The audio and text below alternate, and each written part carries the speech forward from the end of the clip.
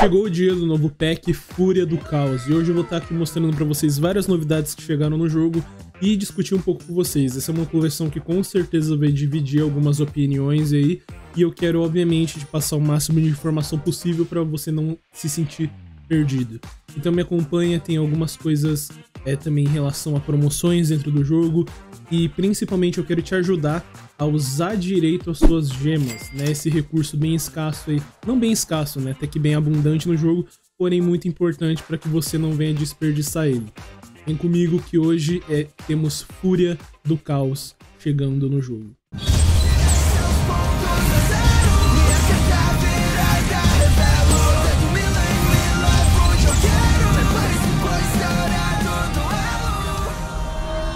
Mas você já conhece a Liga Yu-Gi-Oh!, o maior marketplace de cards Yu-Gi-Oh! do Brasil, onde fazendo compras até 100 reais mensalmente, você concorre a premiações da Liga, onde usando meu código promocional GRIL, além de você ajudar demais o canal aqui, você dobra os cupons que você ganha, aumentando ainda mais a chance de você ganhar essas premiações realizadas na Liga. Procurando um lugar seguro e com os preços mais acessíveis, acesse o link na descrição aí e use o código promocional GRIL, não esquece, e agora de volta ao vídeo. Fala aí, Greek, bem-vindos a mais um vídeo de Master Duel e hoje vamos lá, né, rapaziada? Nova atualização, novas coisas chegaram. Primeira coisa é o fim da campanha do Mundial, né? Dependendo se você torceu pro time correto, né? Se eu não me engano, eles estão dando 2 mil gemas, eles vão sortear para 250 jogadores que acertaram uh, o time vencedor. Para nós, meros mortais, que estamos torcendo aqui por aqueles que foram baleados no meio do caminho, né? A Konami deu dois pacotes legado. Sim. Você vai fazer o seguinte: você entra aqui no Anime Se Campanha e aí você vai receber dois pacotes, dois bilhetes para gastar no pacote legado. E aí você vai poder entrar aqui na aba de produtos, né? Pacotes, pacote bônus e aqui o pacote do legado você vai poder gastar dois tickets aqui para pegar basicamente qualquer coisa desse dessa coleção, se eu não me engano, certo? Então é interessante, tem algumas cartinhas legais aqui para você pegar, bem poucas, mas é muito legal porque principalmente chegou o Castira, né? Então um rank set que talvez você precise seja o Galaxy Ois Tomahawk. Fora isso, fora isso, o que, que mais a gente tem aqui? Começou a campanha, né? 57.3 milhões de download, então mais uma vez aí batemos algum nível de recorde de downloads. Pra quem achou que o Master Duel é flopado, né? Master Duel tá aí batendo recordes certo? Tá batendo recordes. O dia que bater recordes aqui no canal e eu ficar rico também, né? Vamos ficar bem felizes. Mas enfim, eles vão dar mil gemas para nós. Então, por exemplo, eu que tô aqui com as minhas humildes 7 mil, vai para 8 mil. Isso é legal. Tem várias coisas que eu ainda não peguei. Por exemplo, as próprias promoções aqui, né? as próprias promoções de especiais, calma. Em relação mundial, né? Eu, por exemplo, ainda não peguei, tava esperando a coleção nova chegar, mas isso facilita um pouquinho. Mas vamos lá. Recomendados. A gente tem primeiro aqui o Guiado pelo Destino, que a gente já tinha recebido spoiler, que é um pacote que vai ter os Adventure Token, uma engine bem poderosa aí, e os Magic que é um deck engraçadinho, tem algumas coisas interessantes, tem um potencial muito legal pro futuro, porém hoje no card game físico é um deck que não tem, é, já recebeu a sua última leva de suporte, e ela não foi tão boa, não fez muito pelo deck, mas ele tem um potencial interessante aí, você que gosta de combar com coisas diferentes, Magic é um deck de ritual, mais ou menos ritual, ele faz todas as invocações, mas ele é legal em algum nível. E tem aqui a engine de Adventure Token, que é uma engine extremamente cara, se você for ver. Existir esse Secret Pack facilita para quem quer farmar alguma conta nova aí com algum deck em específico. Então você vai precisar de uma dela, um do Grifo, um desse do Illegal Knight aqui e duas da Aramezir. Ter esse Secret Pack existindo no jogo facilita um pouco e é sempre bem-vindo, né? O jogo tá mais barato e mais fácil de montar os decks. De resto, nada muito interessante. Tem aqui Espera Curibo, grande Espera Curibo, melhor carta do Yu-Gi-Oh! brasileiro. E você ganha um pacote, um pacote de graça, então tudo que é de graça, né? De graça tem injeção na testa. E tem aqui o Transcendentes do Espaço. Tem o Transcendentes do Espaço, que vai trazer aqui uh, a IP, tem coisas. Uh, não sei se eles estão trazendo alguma coisa nova especificamente, eu acredito que não. Não, mentira, eles. Nossa, eu tô tão acostumado com isso aqui do card game físico que eu não me dei conta. Mas é a arte alternativa da IP Mascarena certo? Chegou a arte alternativa, assim como o Unicórnio e o uh, Golden Lord tiveram a sua arte alternativa. Agora IP Mascarena também tem. Eu me desliguei totalmente aqui. Foi mal, o cérebro desligou. Mas é, chegou a arte alternativa da IP. Muito bonita, muito boa também. E é uma boa staple pra você ter no geral, né? Esse, esse é um pack que não vale muito a pena abrir. Uh, as, os dois arquétipos que vem aqui são bem, bem medíocres. mas tem boas staples como a própria IP, o Ridur e o nosso querido Omega com o Psyframe Gear Gamma aqui. Esse aqui é mais craftável, né? Mas essas URs são boas você ter na sua conta. Fora isso, tem novas coisas, né? É a Catedral Dogmática, muito bom. Acho que, cara, toda vez que lança campo novo eu falo isso, mas esse aqui é um dos campos mais bonitos, cara. Esse aqui, a, a Konami sabe fazer design de field, cara. Tem que parabenizar o estagiário aí que, que faz é, esses designs, porque é muito bom. Essa Catedral Dogmática ficou muito boa de verdade e é um dos campos mais bonitos do jogo. Tem aqui o Mestre da Paz, né? Em comemoração à chegada dos Draco Slayer. Chega aqui o Alper do Draco Slayer, né? O guerreirinho aí, protagonista da lore que envolve os Draco Assassinos, que é um novo arquétipo que chegou aí nessa coleção nova que é a Fúria do Caos. Muito bonito também, muito brilhoso, típico wallpaper.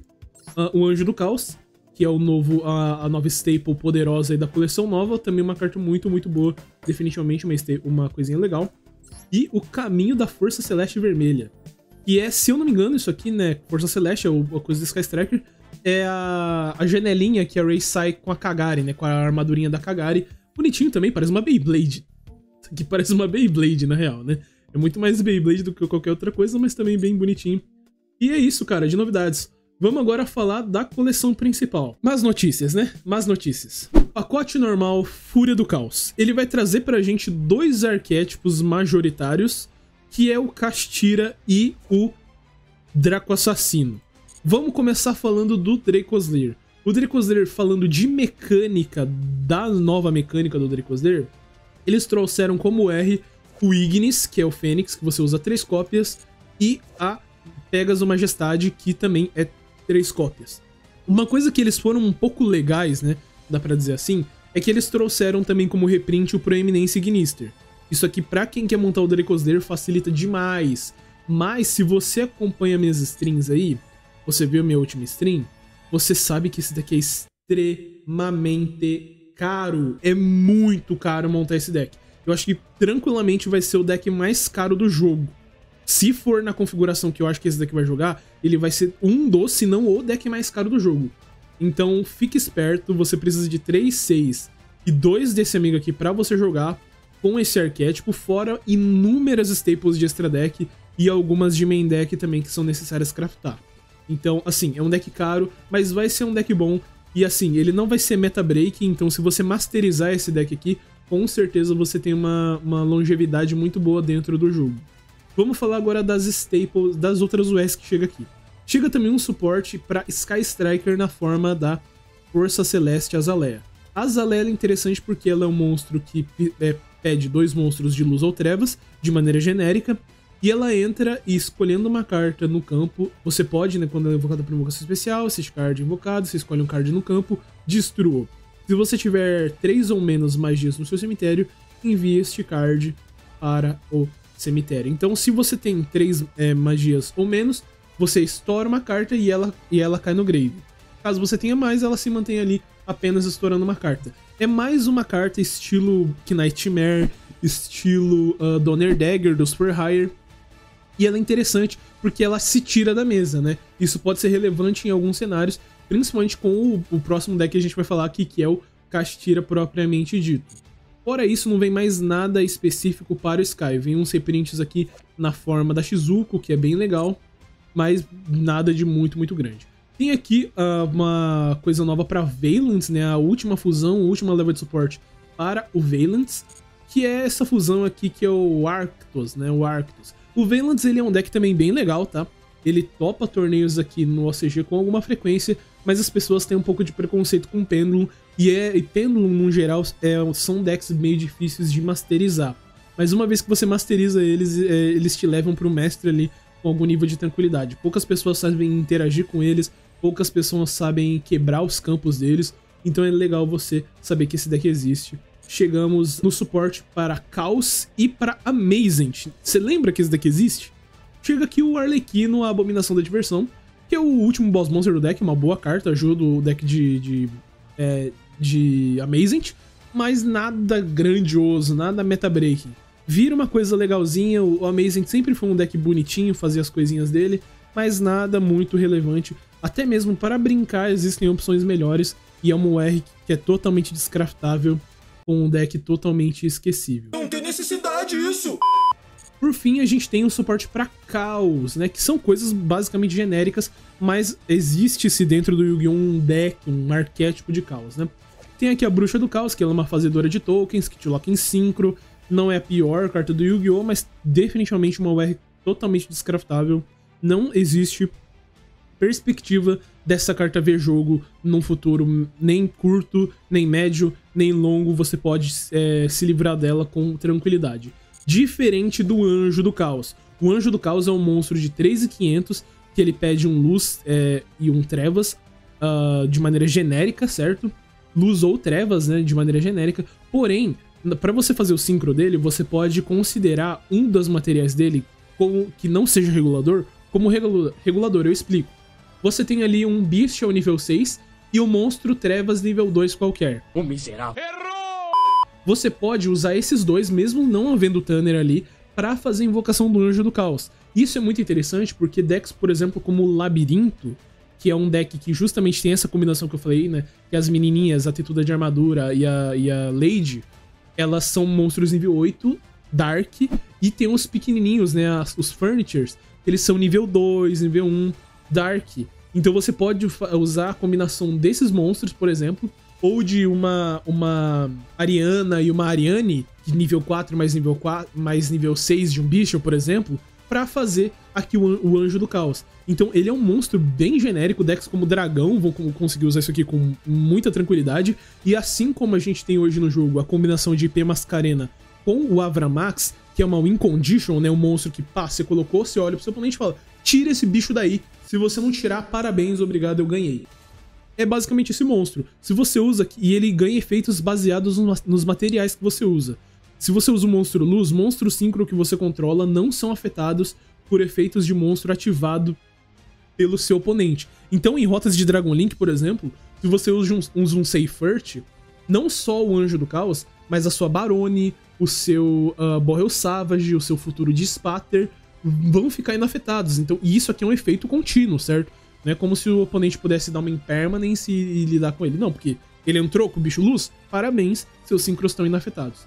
E aí, trevas, monstros que você controla não podem ser destruídos por batalha. Então se você usa um luz e um trevas, você fica inafetado e não morre por batalha. Cara, é insuportável, é muito difícil tirar esse bicho. Então, se você usa isso aqui no deck correto, é bem, bem chato. E é uma staple aí que vai performar no, no jogo tanto a curto, quanto a médio, quanto a longo prazo. E é uma carta que, inclusive, por ser genérica, ser boss monster, não ser combo enabler, não vai tomar lista. Dificilmente esse bicho vai tomar lista. Ele provavelmente vai ser o tipo de staple que você vai ter pelo resto da sua estadia dentro do jogo. Você vai querer ter pelo menos uma, duas cópias dele. Se você, por exemplo, é jogador de labirinto e usa ele como in condition em algum determinado formato, você vai querer ter três, porque você vai usar extravagância. Então pense nisso, certo? Depende muito de que tipo de jogador você é. Se você, assim como eu, é um combeiro de plantão, uma cópia disso aqui é o suficiente e tá tudo bem, certo? Tá tudo tranquilo. E aí, vamos pro elefante na sala. Assim como os vazamentos, né, que ninguém sabe de onde vem, Konami não me julga, não sei de onde vem, é, diziam o Arise Heart não veio. Mas não só isso, a Konami não trouxe, não deixou de trazer somente o Arise Heart. Ela não trouxe o Paraísos, que é o campo do deck, e ela não trouxe a Teoses, que é a spell que invoca do deck, e ela não trouxe as traps do deck, a trap do deck que invoca e faz o seu combo acontecer, como também ela não trouxe é, a Castira Tier Elements, que é o suporte de tier. Então, assim, eles literalmente trouxeram metade das cartas do Castira. E o que, que dá para se imprimir disso aqui? O que, que você precisa caso você queira jogar de Castira? Você precisa de tudo. Três disso aqui, três, é, dois disso aqui, óbvio que é só dois, né? Três disso aqui, três disso aqui e dois da, do, seu, do seu birth, do, do, eh, dois ou três do seu nascimento aqui. Mas é o ESR, então um pouco importa, né? Você provavelmente consegue craftar. O que a gente tem de problema? Isso aqui é uma coleção de intervalo. Essa é uma coleção que claramente a Konami não tá colocando no jogo pra é, mudar o metagame. Porque o Castira aqui, ele funciona, mas é muito ruim. O miserável é um miserável. Não existe, eu vou falar isso aqui com vocês, não existe deck de Castira viável nessa configuração que tá aqui. Eu posso morder minha língua? Eu espero morder minha língua e que surja alguma variação aí muito interessante. Mas sem a Teoses, que é uma spell que invoca Castiras do deck, o Unicórnio não é um card combo. E sem o Arise Heart, o seu, o seu Fenrir também não é um card combo, porque você não tem como fazer, sei lá, Rise Passo, que era o que você faria com o Fenrir sozinho na mesa, né? Então, deck de Castira não existe, certo? Não existe. É muito melhor se você vai jogar de Tomahawk, fazer token, que é aquele combo de Aurora Dawn, você fazer isso num deck de TI. Hoje, aquele, sabe aquele deck de TI que usa aquele bicho que paga 2 mil de vida e entra. Então, é muito melhor você fazer isso. Você coloca os Fenrir nesse deck. E é, nem, nem dá, né? Porque os, os, os Castira conflitam com os TI, mas enfim. É uma coleção muito estranha. Porque, resumindo para você, né? É aquele tipo de coleção que não é boa você abrir. Se você tá começando no jogo hoje, eu não aconselho você abrir essa coleção, porque tudo que você precisa de staple genérica aqui é um disso aqui. Isso aqui você nem precisa exatamente, né? São staples, uh, tanto a Azalea quanto o Anjo do Caos, são staples que é legal você ter, mas não são todos os decks que precisam delas, tá? Agora o Fenrir é uma staple que, pô, enquanto ele existia mais de uma cópia no jogo, qualquer deck consegue usar ele de maneira genérica. Então é bem, bem esquisito nesse sentido, certo? Mas é, deck de Castira não existe, é um péssimo investimento e eu desaconselho grandemente você que quer montar um deck em específico que não seja o Draco Slayer, abrir isso aqui, certo? Só se você, assim como eu, quer montar os dois decks e tal, é, você abre essa coleção. Ou, se você quer muito Castira, eu aconselho você abrir isso aqui, porque o deck ele já vai estar caro. Quando chegar a próxima coleção, daqui provavelmente a dois meses, trazendo a Rise, Paraísos, Charlamens Castira, o, a Trap, completando a mecânica do deck, quando isso acontecer, o deck vai ficar ainda mais caro e essa coleção, se ela já não tivesse saído do jogo, ela vai tá para sair. Então você vai ter que escolher onde você gasta a sua gema. Então essa é uma coleção estranha por causa disso. Eu não recomendo você gastar o seu dinheiro, as suas gemas nela, mas eu sinto que se você quer montar o Castira, você meio que precisa. É uma jogada muito inteligente da Konami fazer isso. Eu particularmente não gosto da, de, é, de ver eles trabalhando dessa forma. Eles já fizeram isso antigamente, eu acho, se eu não me engano, com o Dinomorphia certo? O Dinomorph eles trouxeram a primeira leva, depois deixaram para trazer as traps e o dinossauro. Aqui eles estão fazendo igual. Trouxeram o Fenrir e o Unicórnio, que são duas cartas muito essenciais, e aí depois vão trazer Campo e a Rise Heart. O que é muito, muito chato, porque o deck provavelmente vai ficar muito caro. A Rise Heart vai ser, vai ser o R. É, eu não duvido da Castira Charlament ser o R se o, o Charlament ainda existir, para deixar o Charla ainda mais caro. Assim, então é bem, bem ridículo nesse sentido mas eu sinto que se você precisa, se você quer montar isso aqui, você precisa abrir essa coleção, certo? Esse é o meu veredito final. Fake Neri, Konami safada.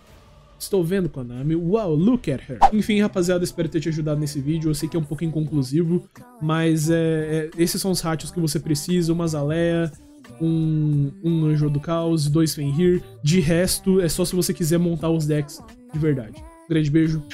Deus abençoe a todos, Bebabo fique bem. Não esqueça de usar o meu cupom na grandiosa e poderosa Liga Yu-Gi-Oh! Link na descrição, cupom GRIL. Tem a promoção aí todos os meses para você ganhar os seus cupons e fazer parte dos sorteios.